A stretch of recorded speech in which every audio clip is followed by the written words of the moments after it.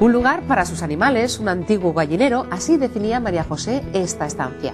Nuestra labor ha sido convertir este espacio de unos 20 metros cuadrados, frío y desangelado, en una cálida y acogedora sala de estar. Hemos apostado por la madera para conseguir ese calor de hogar. Diferentes lamas recubren esta pared a modo de friso. Como remate hemos colocado esta balda volada sobre unas originales escuadras. Las baldosas las hemos revestido con este original vinilo laminado, bandas autoadhesivas que hemos colocado en un periquete y sin apenas esfuerzo. A partir de ahora, esta profesora de Pilates ya no verá la fría chapa sobre su cabeza.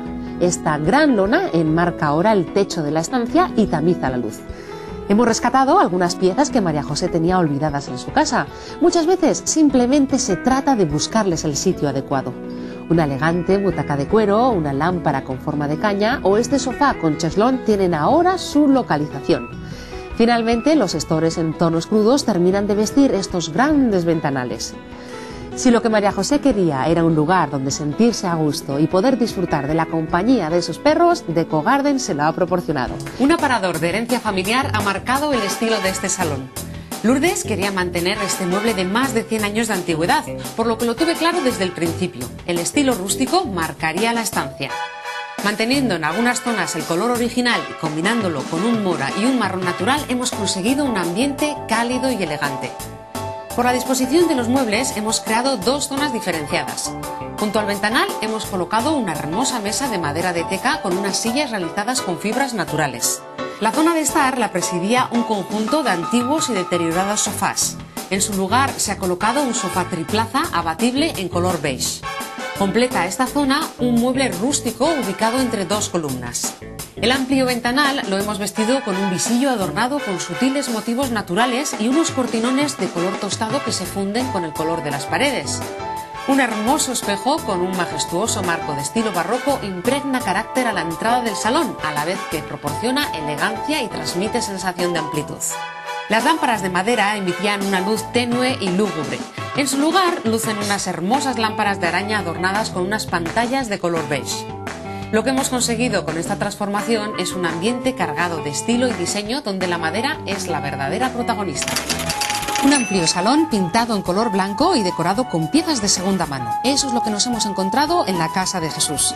Lo primero que hemos hecho ha sido pintar las paredes de la estancia, una pared más tostada, otra más clara. El segundo paso ha sido delimitar la zona de comedor de la zona de estar. La provisional mesa rectangular de comedor ha sido sustituida por una hermosa mesa redonda con cuatro sillas. La superficie de la mesa es la zona del comedor que debe recibir mayor cantidad de luz. Para conseguirlo, nada mejor que colocar una lámpara central que además de iluminar constituye un importante elemento decorativo. Un cuadro de formas geométricas con aire retro completa esta zona, todo un guiño a la década de los 60 y 70, que por sus cualidades decorativas nunca pasa de moda. La pared principal de la zona de estar antes se presentaba desnuda y sin zonas de almacenaje. Ahora, un mueble en tonos bengue con cristales naranjas preside este espacio. Frente a él, un versátil y cómodo sofá con cheslón. Una acertada colocación del mobiliario y una clara delimitación de las zonas facilita siempre el uso de las estancias. En el programa de hoy hemos mostrado una solución para revestir paredes con humedades.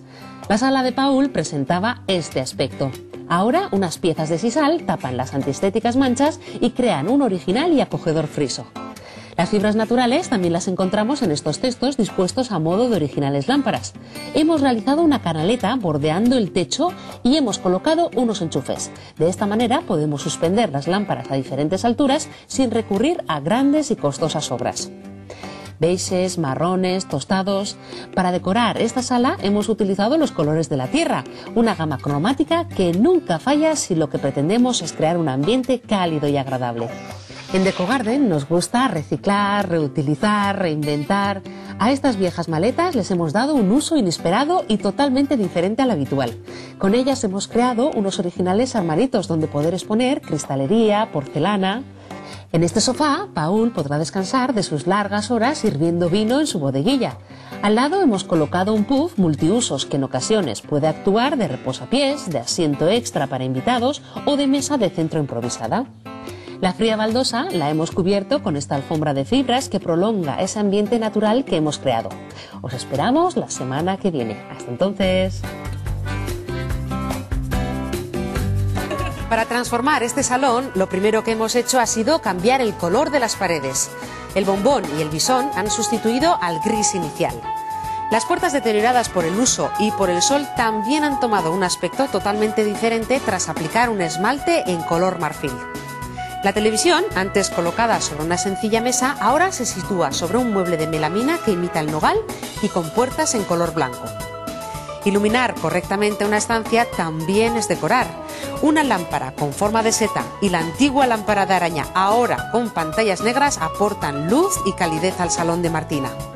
Calor y color proporcionan la alfombra en tonos marrones y tostados, colores que combinan perfectamente con el mural de piezas de aire retro sobre las que se han colocado fotos familiares. De esta manera hemos ocultado el enorme espejo que presidía la estancia. El desnudo ventanal luce ahora un aspecto totalmente nuevo, con unos estores y unas plantas que se pueden ver desde el interior. Se ha rescatado alguna pieza de la antigua sala, reubicando las baldas y manteniendo la mesa de comedor, las sillas y el sofá. Hemos conseguido una estancia diferente, renovada y muy actual.